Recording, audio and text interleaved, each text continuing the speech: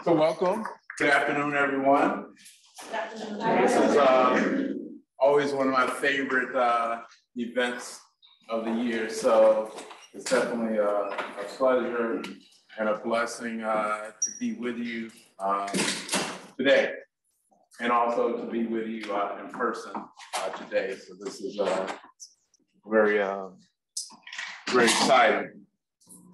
Uh, so uh, again, welcome to this, the 27th celebration of the Valerie Gordon International Human Rights Law Lecture, and to our honorary guests, the Valerie Gordon family. Uh, each year, members of the family travel from all over the country to this event. We're thrilled to have Kristen Lamar, who is Valerie's husband, here with us in person today.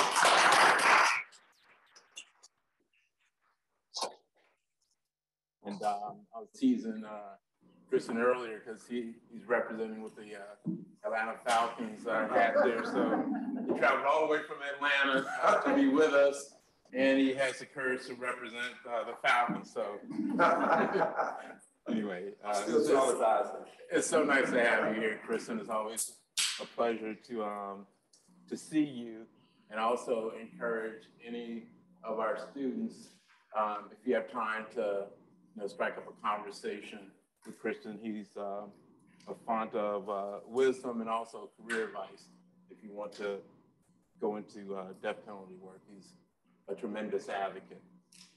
Um, we also have members of Valerie's family, including her sister, Dr. Carolyn O. Gordon, joining us via Zoom today. Um, hello and welcome to members of the Gordon family. Are you there, Carol?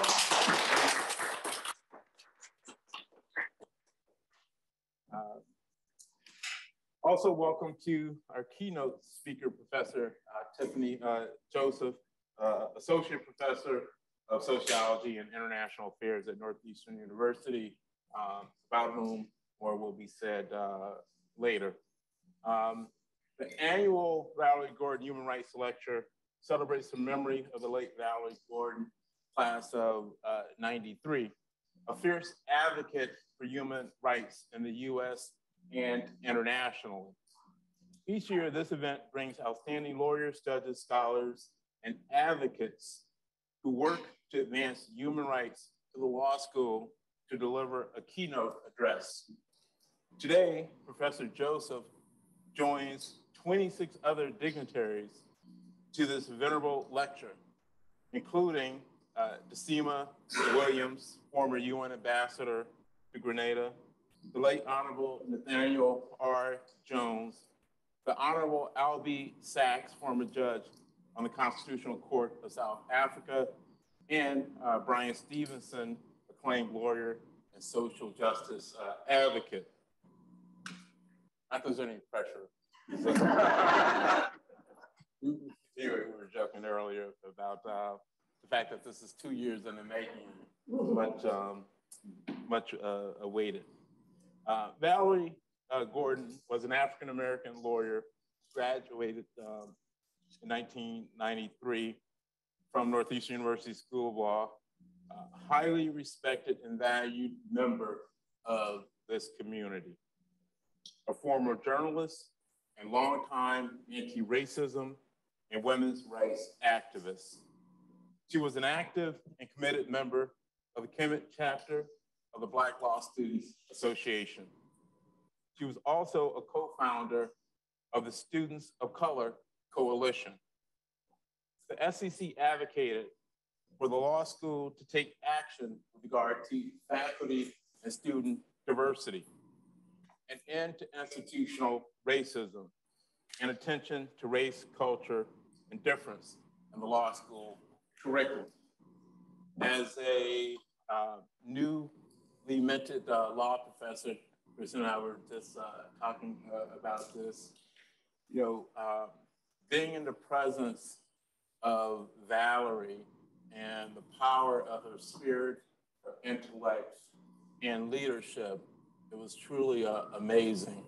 And one of the things that I remember, again, as a newly minted uh, law professor, was that this was truly a different place. and a different place because of people like Valerie and Kristen. So again, Valerie is much, much missed by all of us.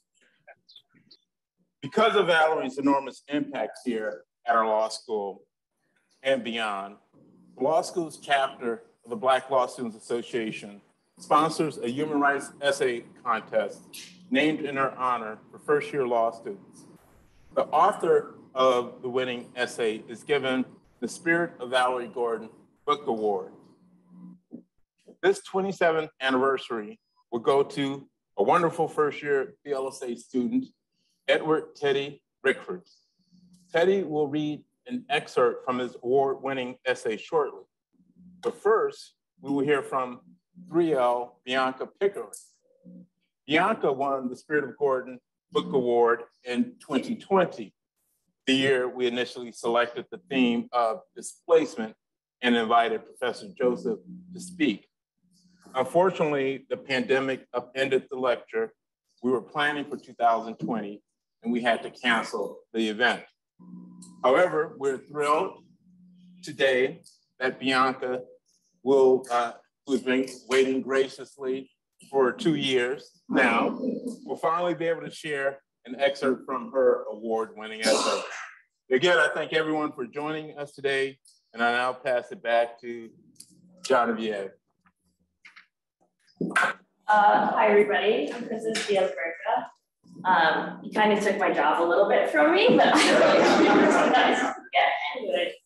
Um, so this year, I have the immense pleasure of introducing both Yana Pickering and Edward Teddy Rickford as the recipients of the Valerie Gordon Short. As a 2020 recipient, Bianca did a fantastic job of introducing me, so I hope this year I can return the favor. Bianca Pickering is a third year law student from New York City with Haitian roots. While at Northeastern, she has taken advantage of the many opportunities to grow as an advocate by being in the Black Law Student Association, uh, being a member of the Criminal Justice Task Force, and a former teacher's assistant for the Prisoners' Rights Clinic. Even with the pandemic, she had the opportunity to intern with the New York City Commission on Human Rights, the Center for Popular Dem Democracy, Families Against Mandatory Minimums, and the Philadelphia District Attorney's Office. Post-graduation, Bianca will be joining the Philadelphia DA's office as an assistant district attorney. Teddy, who will follow Bianca's excerpt, is the 2022 recipient of the Valerie Gordon Award. Teddy is a first-year law student at NUSL. He's always had a strong interest in social justice issues, even from a young age. His focus on public interest and environmental law is a large part of the reason that he chose NUSL. In undergrad, Teddy majored in history, political science, and also minored in philosophy. After undergrad and prior to law school, Teddy's experiences included teaching abroad in China and working on key congressional races in California, Texas, and New York. In addition to these experiences, Teddy has been recognized for his impressive writing skills before, winning awards such as the Dexter Swing Prize, the Gardner G. Hubbard Memorial Prize, the Reader's Favorite Award, the Chaucer Award, the Bragg Medallion, and more. I'm excited to hear from both of these amazing recipients and learn more about their research and writing through the Valerie Gordon Award.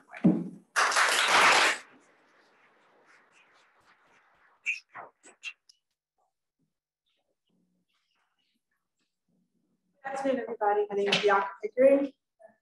So I will be reading a short excerpt from an essay that I haven't seen in a while, I'll be quite honest. so the title is The Forgotten Refugees, the Quandary of the Democratic Republic, Internal Displaced Peoples. Here's a quote by Warsan Shire. No one leaves home unless home chases you.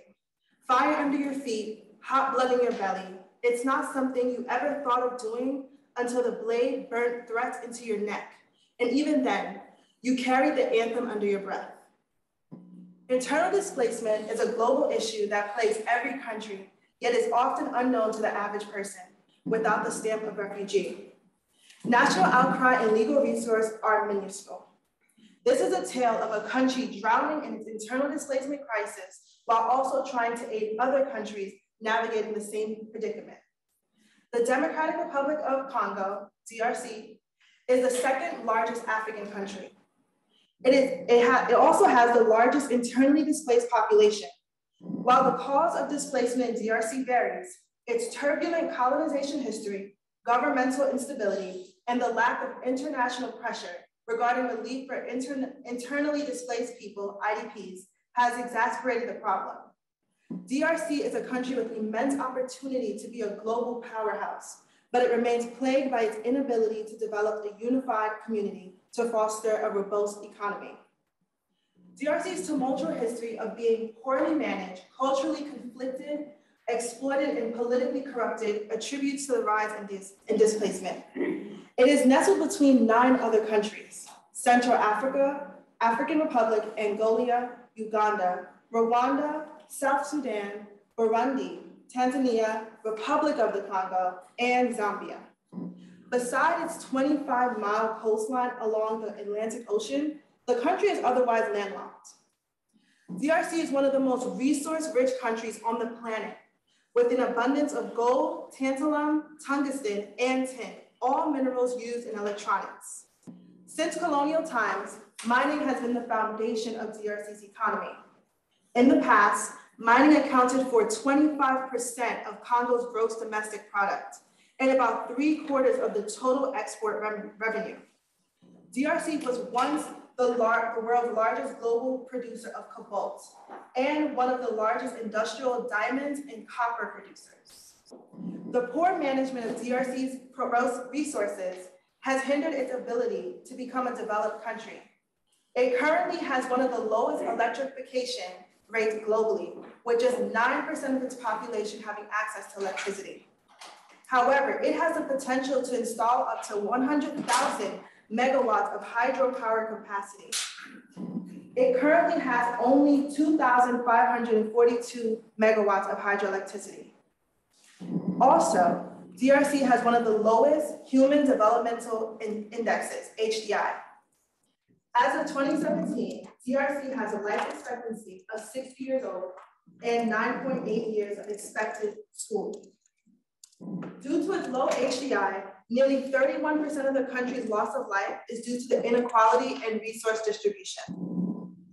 Furthermore, DRC's troubled travel infrastructure is a factor that has attributed to its considered one of the most difficult places to do business.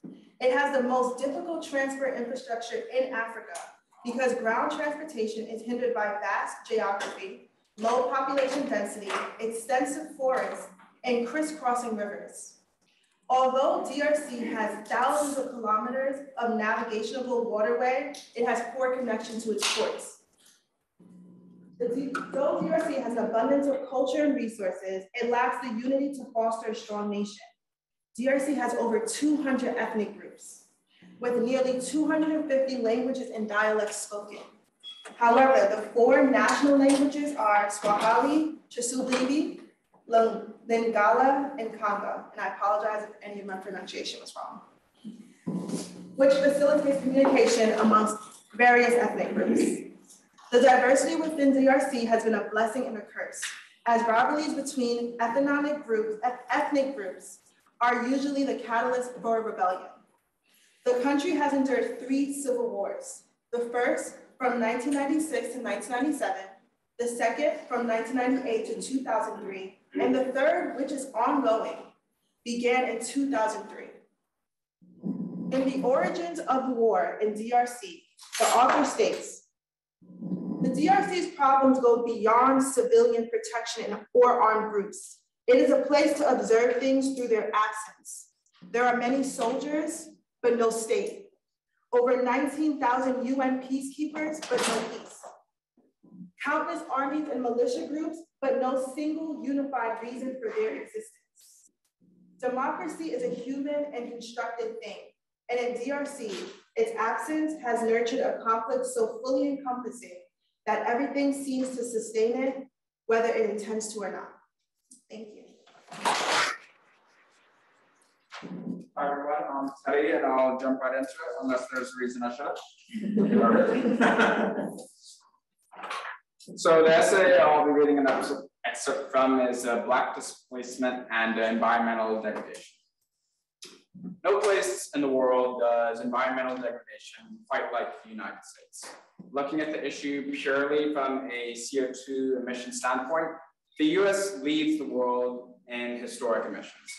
In other words, the United States has done more to contribute to climate change than any other country in the world.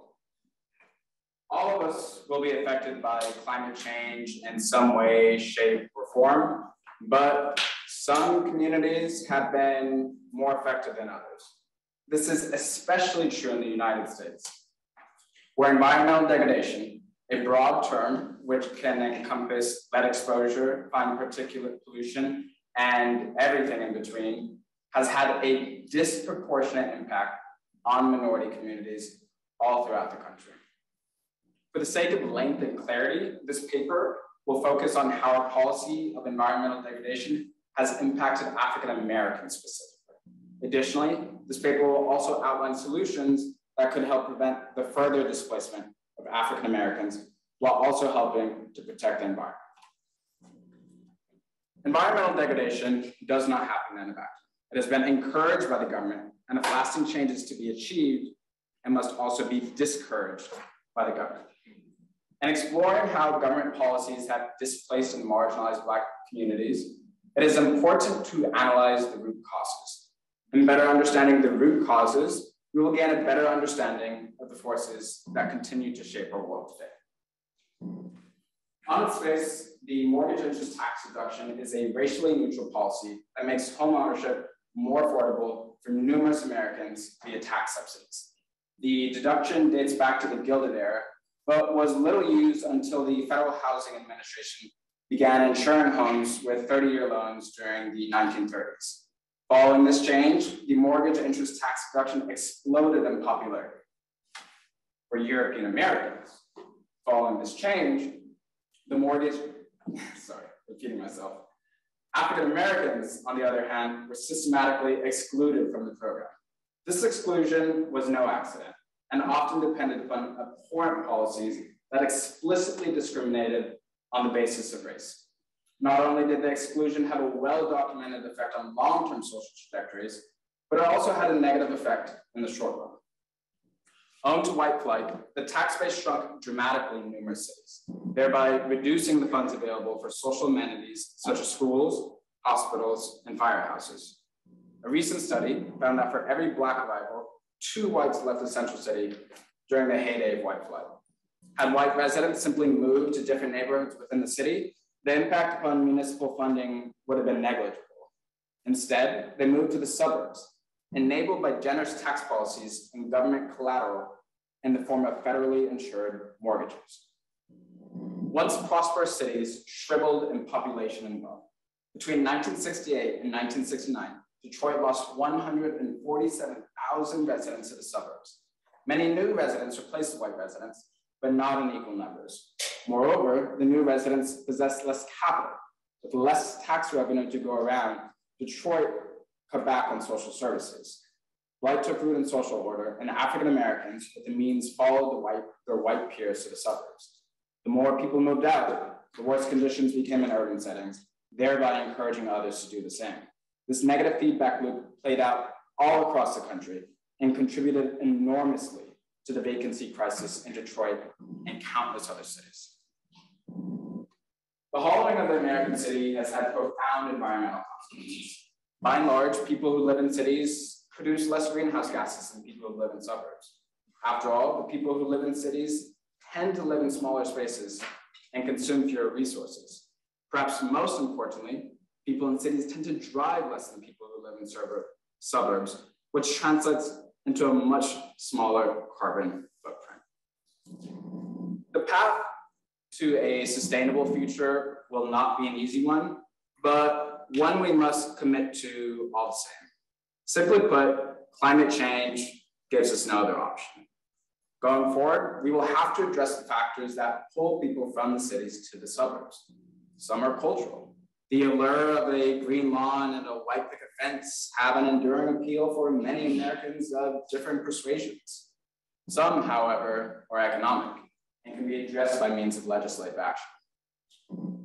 The mortgage interest tax deduction has taken on almost mythic status in certain circles, but it's a policy choice, not an inviolable ultimatum from Mount Sinai. Revising the tax code is admittedly difficult, and it's especially difficult when the benefits flow primarily to the well-off, as is very much the case with the mortgage interest tax deduction. But the status quo is simply not tenable.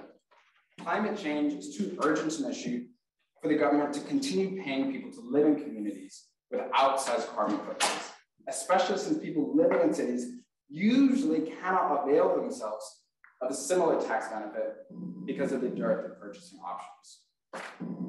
Limiting the mortgage interest tax deduction could allow the government to collect billions more in tax revenue, money that could be spent on climate change mitigation efforts.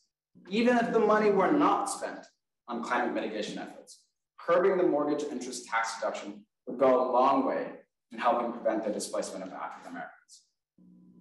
To understand why this is the case, we ought to consider the relationship between Houston and its suburbs. Widely considered to be one of the most diverse cities in America, Houston is home to nearly 2 million Black people. The city's proximity to the Gulf has long been a draw, but that proximity now puts the city at risk with the increasing frequency of hurricanes and rising sea levels. If conditions become bad enough, many Black Houstonians will be forced to flee the city. To avoid this scenario, it is essential that more of the impermeable surfaces in Houston be converted to green space. However, it is even more important that Houston's eastern suburbs do the same as they are even closer to the high risk flood zones. As it stands right now, some of the communities most in danger of flooding have the least incentive to convert impermeable surfaces to green space. Pasadena, a mostly white suburb east of Houston, serves as a good example of this. When it comes to tax collecting purposes, Pasadena has an incentive to develop almost every parcel of land within the city, since residential units are more likely to provide taxable revenue than parks or wetlands. But without the mortgage interest tax deduction, many would not find it practical to live in a community like Pasadena because of the upfront costs associated with home ownership. Without the mortgage interest tax deduction, municipal officials could not be confident that destroying wetlands and greenlands for the sake of residential development would bring in tax revenue and would therefore be more inclined to preserve natural greenery. Keeping in mind that wetlands and greenlands are better at absorbing water than asphalt and concrete, this could go a long way towards reducing catastrophic flooding. After all, part of the reason Hurricane Harvey was so devastating was the abundance of impermeable surfaces in the Houston metro area. However, because of the mortgage interest tax reduction, Pasadena has a vested interest in replacing permeable surfaces with impermeable surfaces, even though doing so increases the risk of catastrophic flooding all throughout the region. This is harmful in the aggregate for anyone who lives in the Houston metro area, but it is especially harmful for Black Houstonians since they are disproportionately likely to live in neighborhoods at most risk of flooding. If we want a more eco-conscious calculus to prevail, if we want a social justice mindset to prevail in Pasadena and elsewhere, it is essential we curb the mortgage interest tax deduction. Unfortunately, there is no one bill that will address all the issues mentioned uh, in this paper. It is possible a bill may come forward in that vein, but it is also possible that legislators decide to take a more piecemeal approach. Whether it is the former or the latter, it is important to recognize that legislators will not act on their own. Without pressure from us, legislators may not act at all. Valerie Gordon understood this well. And the legacy of Good Trouble offers a valuable template for NUSL students to this day. We would do well to remember her example, and her work is especially important to those of us who are interested in environmental justice. Thank you.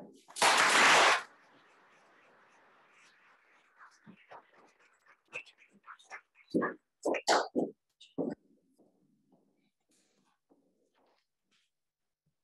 Bianca and Edward. I am so very often humbled by the extraordinary students who attend this very special law school. Good afternoon. My name is Elizabeth Ennin. I am the director of the Program on Human Rights in the Global Economy, or PHRGE as it's known here at Northeastern Law School. Over two and a half years ago, the leaders of the Black Law Students Association came to PHRGE and said, we would really love to invite Professor Tiffany Joseph to serve as a speaker for the Valerie Gordon Lecture Series. I consulted with everybody, everybody associated with PHRGE, and we all agreed that that was a beautiful and spectacular idea. So an invitation was issued and accepted. And then 2020 April, we were shut down because of the pandemic. Then came April of 2021, where we were able to hold the Valerie Gordon event, but Professor Joseph was very busy with her brand new newborn son. So today, April 2022, we embrace this long anticipated opportunity to welcome Professor Joseph to this law school and to this cherished event.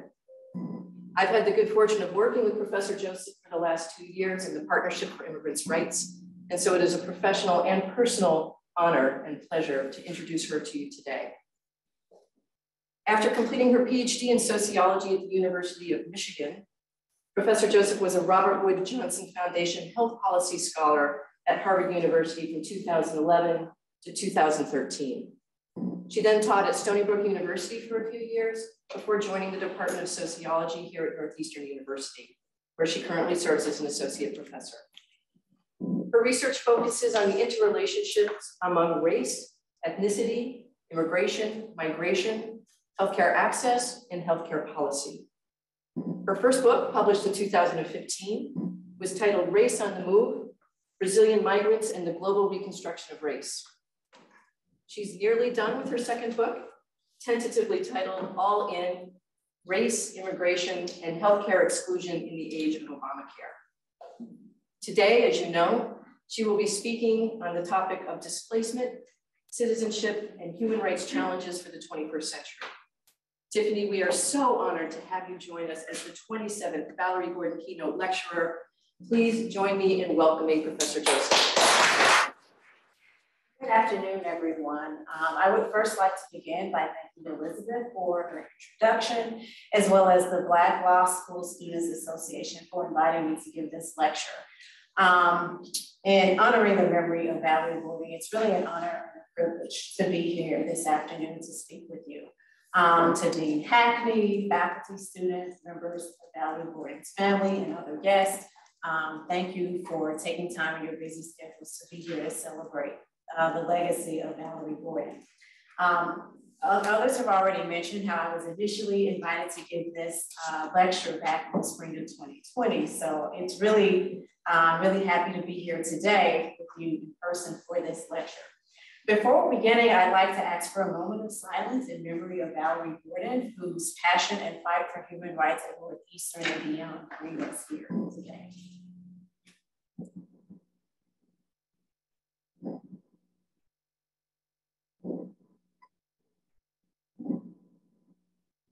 All right, with that, I'll go ahead and begin my remarks. So this year's theme is displacement. And I'd like to frame my remarks by connecting that theme to the concepts of citizenship and human rights challenges for the 21st century, as all of those topics have profoundly shaped my personal and professional life. I begin my remarks by discussing how personal experiences with displacement have influenced my professional interest in the topic as a sociologist and been the catalyst for my research and teaching and also engagement with various communities around those issues. I then connect both to what I see as pressing human rights challenges we face in the present time. I begin my discussion of personal displacement by acknowledging the year 1619 as a pivotal year of displacement.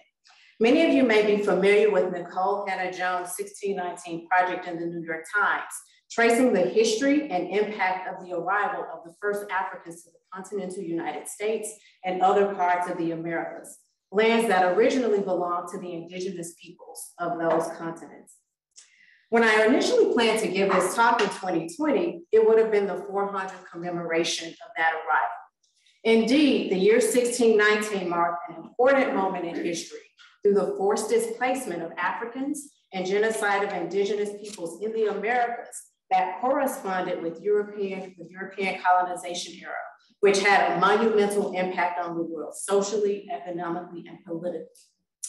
That displacement set into motion the development of intergenerational and international wealth and inequality between the descendants of slave owners, the formerly enslaved, and resilient indigenous peoples who survived conquest, conquest, between societies that engaged in the trade of humans and goods that became the foundation of the current global economic system. As a Black woman, specifically an African American woman from the Southern United States, I was born into and am a descendant of that legacy of displacement. Fast forward 250 to 350 years. Despite a civil war to end the institution of slavery and make African Americans legal citizens of the United States through constitutional amendments, African Americans and other Americans of color who had been incorporated into the nation through westward expansion and US imperialism were still not fully considered or treated as quote unquote Americans. Scientists of the time were even arguing that they were not members of the human family and thus not entitled to the same rights, privileges, and dignities as white Americans. In the Southern United States, the brutally violent Jim Crow racial regime resulted in the continuing political intimidation, social and economic disenfranchisement, and systematic murder of African Americans. This contributed to another displacement, the Great Migration of 1910 to 1970 in which many African Americans left the South to seek what they perceived would be more peaceful and economically mobile lives in northern and western cities. They were in search of refuge where they could access the human and inalienable rights guaranteed to them by the US Constitution. However, they found that the racism extended beyond the Mason-Dixon line and still continued to limit where they could work, live, and go to school in more de facto ways. This is also a part of my personal displacement, as I am only one generation removed from this history, as the daughter, granddaughter, and niece of relatives who were legally excluded from being fully a part of the social fabric of this country. Indeed, some of my relatives participated in the Great Migration, leaving Memphis and the small northern Mississippi towns for cities like Chicago and Detroit in search of better lives and opportunities. And with that in mind, I'd like to shift my focus to discuss how my ancestral legacy of displacement contributed to my displacement in, in pursuit of educational opportunities. Like my relatives who left the South for better opportunities during the Great Migration, I would leave nearly three decades later to pursue educational opportunities from which those relatives had been excluded. At age 13, I received an acceptance letter and partial scholarship to attend Phillips Academy, also known as Andover, about 40 minutes north of Boston, one of the country's oldest and most elite high schools. Founded in 1778 with the aim to educate you from every quarter, Andover's founders likely did not envision that the school's motto would include someone like me, a Black woman from the South. Having grown up in, a, in Memphis, in a predominantly middle-class Black community. Going to Andover was a life-changing displacement that challenged me academically and socially and transformed every aspect of my life. From there, I attended Brown University, becoming the first person in my family to graduate from an Ivy League university. Both places were pivotal through exposing me to diverse groups of people from around the country and the world. But it also made me acutely aware of profound levels of wealth privilege on the one hand and inequality and exclusion on the other. So I did well in both places, I was always conscious of my presence and how those places were not built for me. While sitting in centuries old buildings, I knew that had I been born at another time, there is no way I would have been a student at those institutions. But at the same time, I also realized what a once in a lifetime opportunity I had received to be educated among the world's quote unquote best and the brightest. Yet that did not ease the tension I felt in attending institutions whose annual tuition was more than what most Americans make in a year, or that people in lower income countries might earn in a lifetime. Being in these elite institutions made me more conscious of the haves and the have-nots, as well as connections between the 1619 displacement and the current global economic system that keeps so many locked in poverty while so few hold most of the wealth. My displacement in pursuit of education in these spaces had made me more attuned to domestic and global struggles for racial, gender, and economic justice and the human rights associated with each. Those settings awakened my sociological lens. From taking classes on Blacks in Latin America to doing educational exchanges in South Africa and the Dominican Republic, I began to connect my personal displacement with that of other peoples who were on the move by choice or by force, and who lacked the human rights to live with dignity around the globe. It was my interest in that displacement that prompted me to pursue a sociology PhD and become a professor. Transformed by what I had learned in the classroom and from my peers and experiences, I was also inspired by the educators who captivated me with knowledge of human struggles for social change and decolonization movements alongside civil rights activism in the US and beyond. I had always heard that knowledge was power, but I didn't fully realize that I could make a living from pursuing knowledge and use that knowledge to be a catalyst for social change. Just as my personal displacement led me to experience displacement through the pursuit of transformative knowledge, displacement has played a key role in my life as an academic. Much of my research has been centered around the role of displacement via migration and how that shapes the ways that individuals think about themselves and others in racial and ethnic terms. I also examine how societal conceptions of race and ethnicity, like the categories used to classify people, and also thinking about interpersonal and structural manifestations, structural manifestations of discrimination and racism, are transformed by the displacement of. Such displacement has been pivotal in the development of US race relations, but also in global constructions of race, given the dominant position of the US in global relations. In recent years, I have started to more closely investigate how race and ethnicity shape the sense of belonging, as well as the meaning of citizenship and human rights for people on the move, and what parallels that has to African Americans' ongoing struggles for social, political, and economic inclusion in the United States. In the 21st century United States, the intersection of race, ethnicity, and documentation status has especially been important in shaping individuals' lived experiences, health outcomes, and access to social services like healthcare. Amid dealing with the multiple pandemics of COVID, the ongoing fight for racial equality, rising inequality and poverty, and the important work of creating and sustaining true democracy in the US and abroad, this work has become even more pressing. In one of my earlier research projects, I relocated to a small town in the state of Minas Gerais in Brazil to interview Brazilians who had migrated to the United States and subsequently returned there to make their lives in Brazil after the US migration. I wanted to learn how moving back and forth between the US and Brazil transformed the way these individuals thought about racial classification, as well as perceptions of discrimination and inequality in both countries. To do that research, I learned Portuguese and as much as I could about the different histories of race relations and racism in Brazil and the United States. I put myself in the place of my respondents, uprooting myself, moving to a country with a culture and language different than my own, and had to navigate a new social context as a Black American woman who wasn't always perceived as Black in Brazil due to my lighter skin tone. Though I was in a more structurally privileged position than the return migrants I interviewed as a US citizen there on a Fulbright grant doing research for my doctoral dissertation, the experience of culture shock, the physical, mental, and emotional exhaustion I experienced from adjusting to my new environment had some parallels. I found that as I got settled in the town and got to know more people through my research, People were impressed and wanted to know why an American would take enough interest in their small town and their lives to come and understand the impact of transnational migration there. As an immigration researcher, I felt and feel that so much of what is missing from contentious debates around immigration is understanding that the conditions in people's home countries propel them to move from everything and everyone they know and hold dear.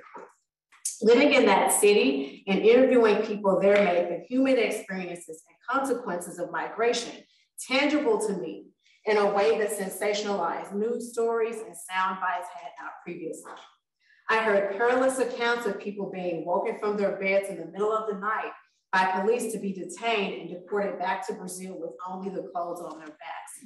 But I also heard the joy and resilience people found in accessing opportunities that were not available to them in Brazil given the higher amounts of economic inequality there.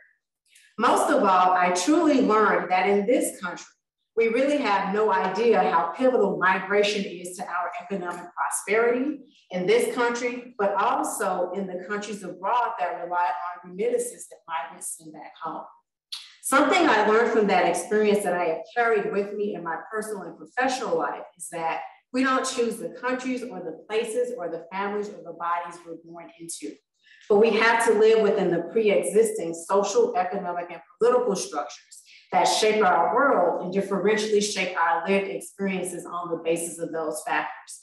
It was through conducting that research that I began to more clearly understand how the struggles of African Americans were relevant to the human rights struggles for inclusion of immigrants in the United States as well. While that particular project was about how those individuals' lives and perceptions of race were transformed by the US migration experience, I started to become more interested in the connection between health, healthcare, and displacement too. I found that in my interviews with Brazilian returned migrants, the issue of health kept coming up in my interviews with them, even though I wasn't asking about it. Many of the people that I interviewed would say things like, when I lived in the US, I didn't have access to healthcare, or I was working crazy hours that I could not eat or sleep properly, or my employer threatened to call ICE on me if I, um, if, um, if I wouldn't make them pay me the wages that I was due, or if I threatened to complain them about paying me for the, wage, the wages that they owed me. Some even acknowledged that they returned to Brazil sooner than anticipated because their health had deteriorated so much that they needed regular health care, which they had better access to in Brazil than the United States, which to me at the time was just absolutely crazy to think that in the wealthiest country on earth, people don't have access to healthcare. And that was 10 years ago when I did this project. And that's still the case today, even with policies like the Affordable Care Act, which I've been researching more recently. Those interviews had a profound impact on me. So much so that that topic became the focus of my next big research project, examining immigrants' healthcare access in the US. By the time I finished grad school and started my postdoctoral fellowship in 2011, the Affordable Care Act or Obamacare had been passed into law, modeled after the 2006 Massachusetts health reform. Obamacare was set to be implemented within the next two years, and I thought it might be an important time to begin that project. Little did I know that project would become a huge part of my life for the next decade, as I aim to concretely explore and understand how law and public policy shape access to healthcare and other social services in this country for citizens and immigrants alike. More specifically, documentation status indelibly shapes eligibility for not only healthcare, but welfare and also things as simple as driver's licenses. As I started to explore this topic through interviewing immigrants, healthcare providers, and health and immigrant advocates throughout Boston from 2012 to 2019, the more clearly I began to connect historic and contemporary racial and anti-immigrant discrimination and animus in this country and its connection to laws and policies. The stories of immigrant families afraid to go to the doctor for fear that doing so will result in a police stop that may lead to deportation or jeopardize regularizing their status were common. Many felt that if they could become citizens someday, that they would be able to more fully participate in and contribute to this country. In those stories, I again saw parallels with my family's stories of being legally denied opportunities for education and social mobility because of their race, despite being citizens. In these stories, I could also clearly see the connection to the ongoing struggle for human rights that we continue to fight in the 21st century, particularly as the role of citizenship has become more pressing for establishing legal, social, and cultural membership in the United States and other nations around the globe at a time of what feels like unprecedented division, inequality, sickness, war, and impending environmental destruction. It is from my personal and professional experiences and explorations of displacement that I have been able to think more concretely about the challenges that displacement, citizenship, and human rights pose for us in the 21st century. One of the biggest challenges that is that despite the humanity we share, Human rights are not universal because we do not see or regard each other as universally human. Race, documentation status, national origin, citizenship status, and countless other social and political constructions and identities have fractured us so. A big challenge before us is assessing what citizenship actually means in this context. In the US and some other countries, one's race, ethnicity, gender, or religion has been used to determine who could become a legal citizen and entitled to associated rights and privileges. And although that is no longer legally the case in the United States, scholars have argued that being a legal citizen does not necessarily mean one is a sociocultural citizen or fully perceived, treated, and regarded as belonging to the country or as a quote unquote American. The continued disenfranchisement of African Americans since 1619 and into the present is a clear case of how being a legal citizen does not guarantee sociocultural citizenship. Indeed, there are examples of other legal citizens here in this country and abroad who are not treated as social citizens and disproportionately experience negative social outcomes, live in poverty, lack access to quality education and healthcare. Mm-hmm. But unfortunately, we have also seen that lacking legal citizenship means that people can be rounded up, locked in cages, and deported without legal representation too.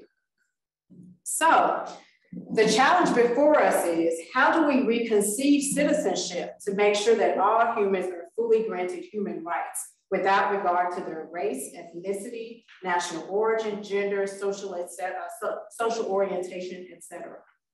Well, one way is to treat individuals as sociocultural citizens, regardless of their legal citizenship, and work to ensure that people, especially those who are so often forgotten, who are contributing to our societies can reap the benefits of their contributions.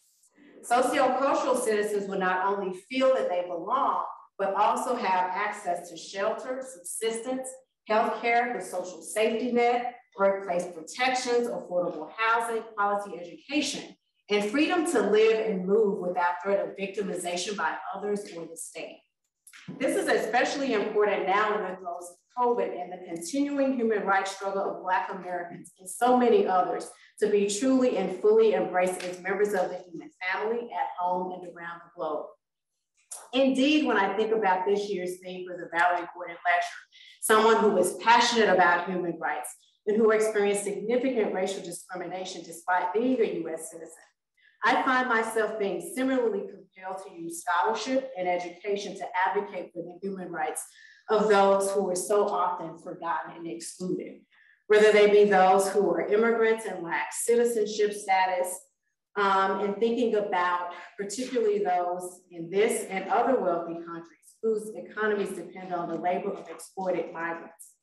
I find that it is important to recognize our shared humanity despite the differences between us that try to make us believe in a global zero sum game where my success means that yours cannot come to pass. As I come to a close, I want to leave you with some words that I hope will inspire you to continue the legacy of fighting for human rights as Valerie Gordon did. Don't just be the change you want to see in the world. Inspire others along the way to make the journey with you. For when we work together to acknowledge the humanity others, the displacement of our differences will allow us to create a better world. Thank you.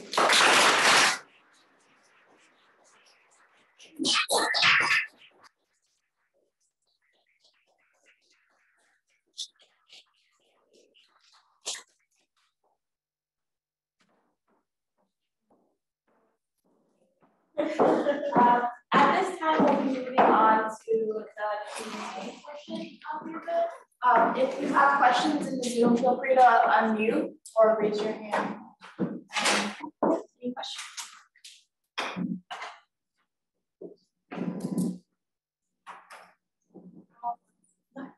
Uh, so with your time in Brazil, uh, I'm curious, what would you say felt the most similar to the US? Uh, and what would you say felt the most uh, different? So I would say what probably felt the most similar was the recognition of um, the recognition of the exclusion of African descendant peoples in both countries. Um, and in Brazil, it was more acute than in the United States because Uh, economic inequality in Brazil is a lot higher um, than in the United States. And also there is a larger presence of African descended people in Brazil in the, in the United States. So a lot of people aren't aware, but actually Brazil received the largest number of um, enslaved persons during the slave trade. Um, and for that reason, it continues to have one of the largest African descended populations globally. Um, and one of the interesting things about Brazil is that after slavery ended, there was no equivalent to Jim Segregation there. And so for that reason, people thought that Brazil was a racial paradise compared to the United States. However, when you scratch beneath the surface and really start to look at, well, where do people live? What are people's opportunities like? And you start to look at income and other social indicators, you really start to see that the African descended population in Brazil is far uh, much more socially disadvantaged um, than the US. At least there's been research that's been done looking at those measures quantitatively.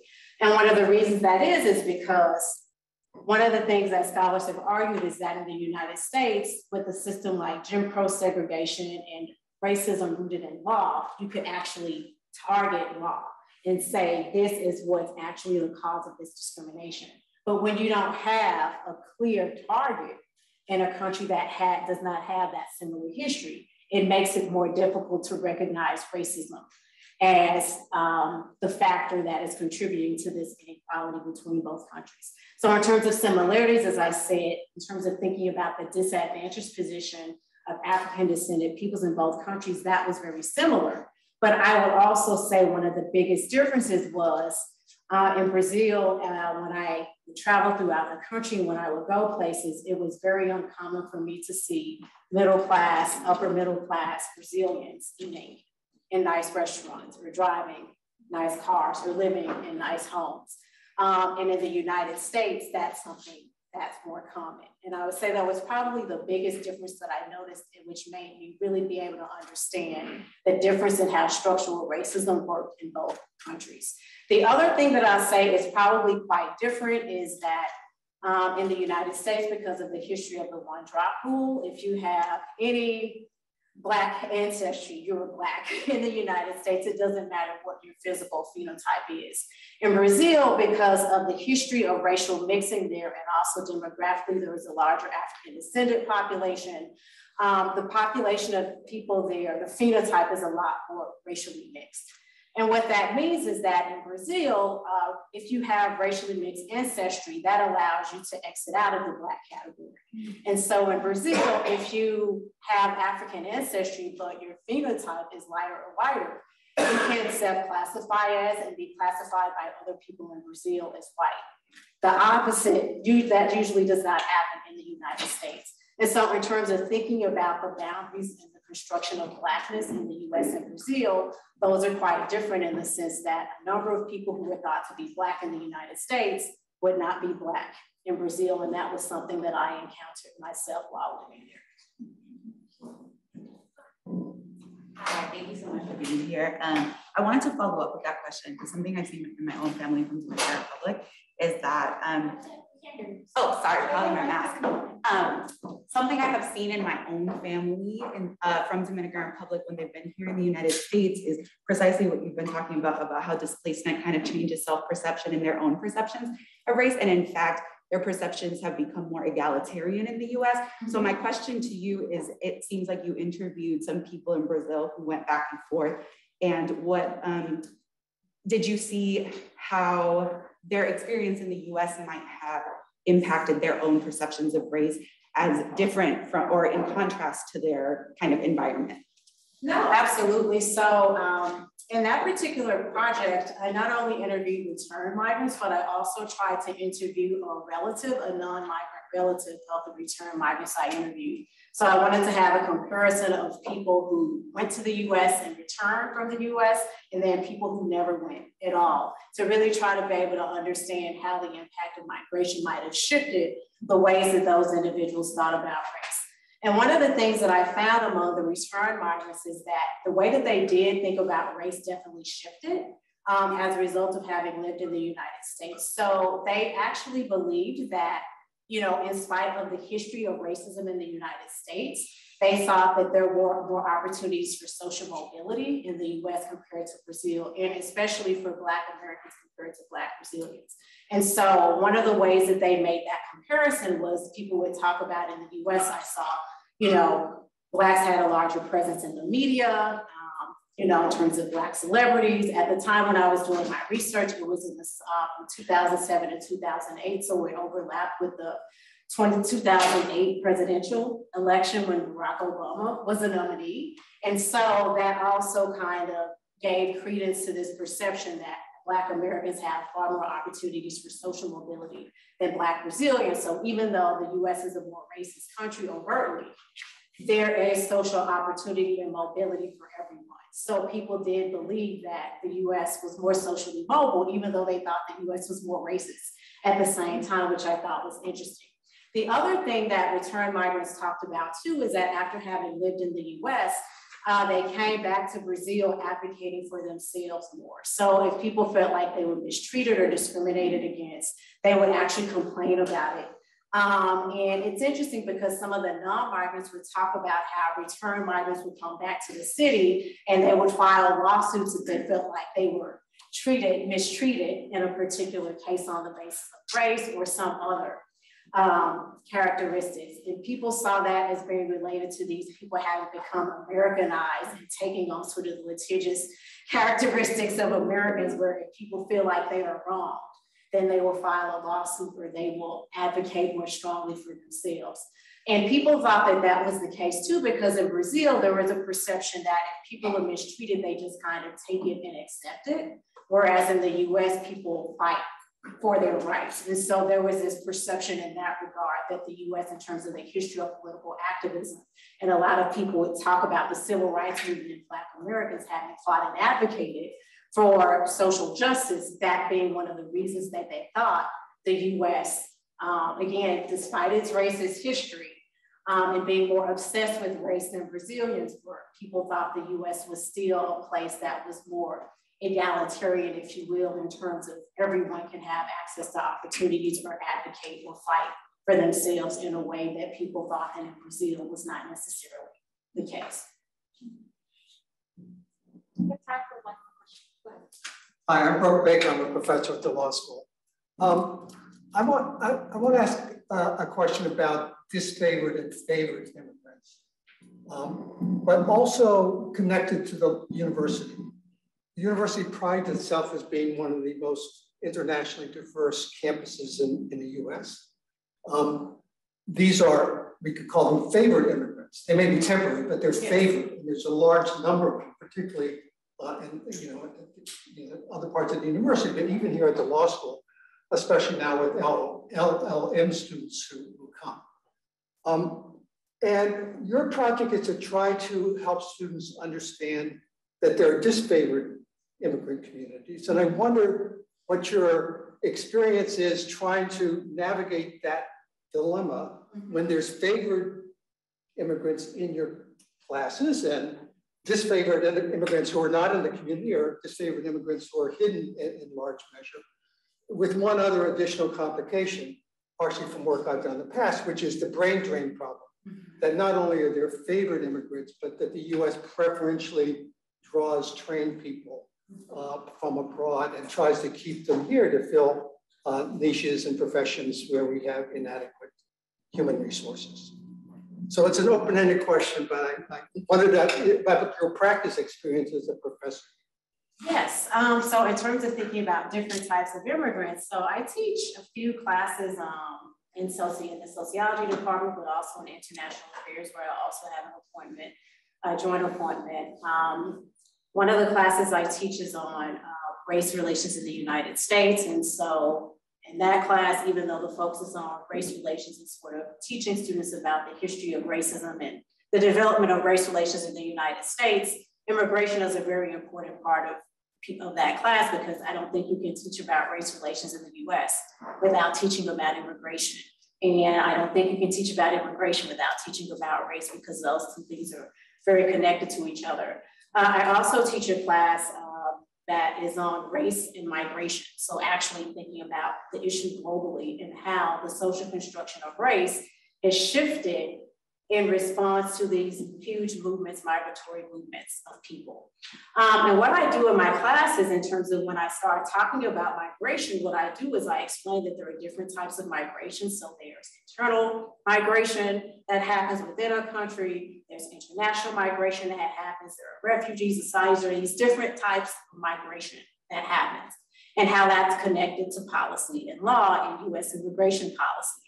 And that's where I also teach about how US immigration policy has very much been shaped by the country's racist past too, in terms of shaping who could come to the country, um, at times excluding groups of people from Im immigrating to the country on the basis of the race. And so I make that a really key part of the course in terms of trying to get students to understand more broadly what is migration overall. And then when we start to think about it in more specific ways, we see that there are different types of migrants and then also how law and policy plays a role in creating these different types of migrants. So in terms of thinking about different types of visas or different entry points into the United States and how law plays a role in that process. And so I approach teaching about the favored compared to the disfavored immigrants by framing it within that context in terms of thinking about law and policy being very important to that discussion and thinking about how US immigration policies and laws has shifted over time in response to what was happening nationally in the country, who the United States was wanting to let in and who the United States was wanting to keep out, and how that very much was tied to national origins and race and where people were coming from globally. And that's the approach that I take to teaching it and trying to get students to sort of connect these larger issues to their own personal experiences too, and maybe think about, well, you know, I'm here as an international student in Northeastern, but my path to Northeastern was very different from, let's say, someone who ended up coming across the southern border, someone who came on a tourist visa and overstayed and became undocumented, and then how that shapes your path or ability to be able to become a citizen, because that also complicates um, the ability to regularize or change one's status too. So that's the approach that I typically take. Unfortunately, we are running out of time, but we really do appreciate you speaking today, Professor. Um, I'd like to make comments first.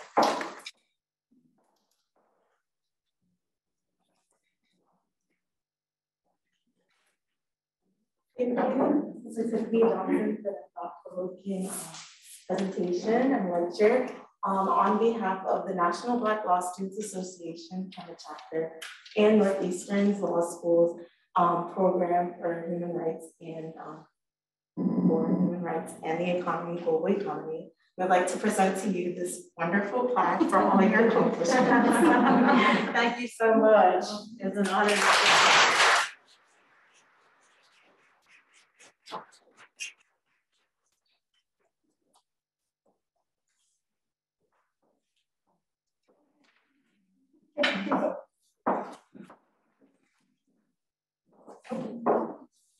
Um, at this time, I'd like to welcome up uh, members of the Gordon family to give their remarks.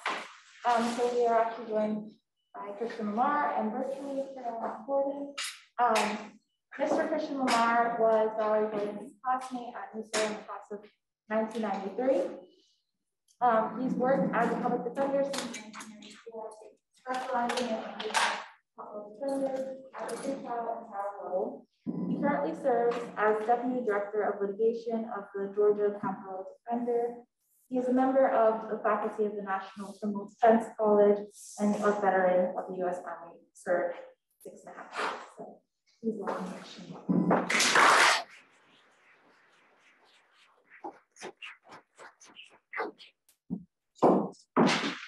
Good afternoon, uh, everybody. It's always great to be here. Uh, first, um, Dr. Joseph, that was uh, outstanding. I mean, I learned so much. I'm sure a lot of other folks did. And thank you so much. Also, Dr. Joseph is my homegirl. Shout out to Memphis. Uh, we were talking, and uh, she said she would talk a little bit about that transition from Memphis to Anvil, which I, I can't even imagine. But thank you for the great work that you're doing. Thank you for speaking at Valerie's event here. And um, we really appreciate you. Thank you so much. Um, also want to thank Elizabeth and Victoria and Dean Hackney and the whole law school for continuing uh, this great program. Um, it is um, very humbling, but it is also very uh, empowering uh, for all of us and especially our family. Um, much of our family is on the um, on the Zoom. I saw I saw Aunt Kat and I saw Lois and I saw Carolyn. I saw Galen. Anybody else? I don't know. I hope I didn't miss anybody, but families, shout out to the family. Uh, when I'm done, if folks want to say something through the Zoom, they can. And also, I saw Gordon from the class of 93. If there's other class members out there, thanks, Gordon, for uh, tuning in and being supportive. Uh, wow, 93, that's damn. oh, you know, you know, you know. Uh, but it's all right, we're here, right? And we came through uh, these last two years. Uh, I remember telling my wife, you know, we can just kind of make it to the other side. Um, and so that's another reason that I had to be here. Um, and the other thing is seeing so many people, Brooke, uh, Professor Hackney, um, Lucy Williams, and I just went through the, um, the faculty that's still here from the time that I was here. And that is just a statement about stability, it's a statement about leadership, and it's a statement about this is a very, uh, very special uh, place. Um, as you know, I, uh, you know, I met my wife, uh, Valerie here, and we actually were married during our time here. Uh, I was telling, um, I think I was telling Victoria, it's like when I left uh, for law school for Memphis, and I think I was telling uh, Dr. Joseph, you know, two suitcases on the Continental uh, Trailways bus all the way from Memphis. Um, it was a culture shock in Boston, but little did I know that I was going to meet uh, this uh, fantastic woman, uh, Valerie Gordon, and that uh, in that short time together, it was so intense. Uh, we were able to have a son, Feluke, and um, to um, just kind of leave our mark here. I was talking to one of the BLSA members about, yeah, that was us in that Kemet chapter. All right. uh, and also part of, um, you know, like uh, Dean Hackney talked about, pushing some social change here at the uh, university, uh, at the law school. Um, and it's interesting and very ironic at a point in our history where in certain parts of this country, uh, it's basically a crime to talk about what uh, Dr. Joseph just talked about, that teachers can be sued, and that did we know that in 91, when Valerie and I and students of color and BLSA said, uh, no, people, y'all need to do better about this uh, inclusion stuff with in terms of race and class and sexual orientation. In fact, half the people that come here don't have no idea. And that's how law, culture, and difference came about. And little did we know that 30 years later, that law, culture, and difference would be possibly outlawed in places. So that is again a testament to this place, but also the willingness to have people come in who are willing to push, push, and keep pushing regardless. I mean, many times uh, we feel like, hey, we've done a good job, right? You know, we got black folks here, it's more folks of color, more folks, you know, LGBTQ, and, and we want to pat ourselves on the back. That's good. But after you pat yourself on your back, you got to look and see where you still have to go. And I think having a place that's willing to continue to engage in that. And sometimes the conversations are not necessarily happy conversations, but that's okay. We family, right? and that's what we do. Um, so I just want to thank everybody again. I'm very thankful to be here. Uh, I feel the love. Uh, my my wife is on. She's um, uh, has been a rock for me in terms of being so supportive of, of what we do here. And I'm very blessed to have that. So I love you, baby. That's Shannon, Shannon Lamar. she's on, she's actually in the midst of, uh, she's a counselor in public schools. So she texted me, she's like, I got these kids coming in. but uh, that's what it's about, um, trying to do what we can where we are in all ways. So I'm very fortunate to have, uh, to have known Valerie. I'm very fortunate to have the love and respect of this law school. And we are very fortunate to uh, be able to celebrate her legacy. Thank you. Thank you very much. I don't know, is there any way anybody on the Zoom can say anything? Yeah, Carolyn should be able to talk. Okay, go, go ahead, go ahead, sis. Oh, she got to unmute. What she said? Unmute. Good good afternoon. Thank you, Christian. No, you caught me off guard. I uh, I uh, was thinking a lot of things, and I just appreciate seeing you, Christian, first of all, and just uh, happy to be a part of this, even virtually. To Dean Hackney, to the school, to Dr. Joseph, um, thank you. Thank you for remembering. Thank you for continuing uh, my sisters, our sisters, our niece, our daughter's legacy. Uh, of course, for me, it's always bittersweet because as I celebrate my, as I celebrate Valerie Gordon, I miss my sister. And Dr. Joseph, I thank you for hitting and discussing and your research. And I just want to remind all of you all that this is closer to home than we realize. I, I reflected on even Valerie's death, and the reality was simple. Uh, when Valerie and Christian first graduated, they took the first position in Georgia. Valerie was already pregnant. They didn't have insurance because they were betwixt and between, from students to now being full fledged law abiding citizens professionals. And unfortunately, when Valerie, after she had Fluke still in the hospital, she had fluid on the lungs.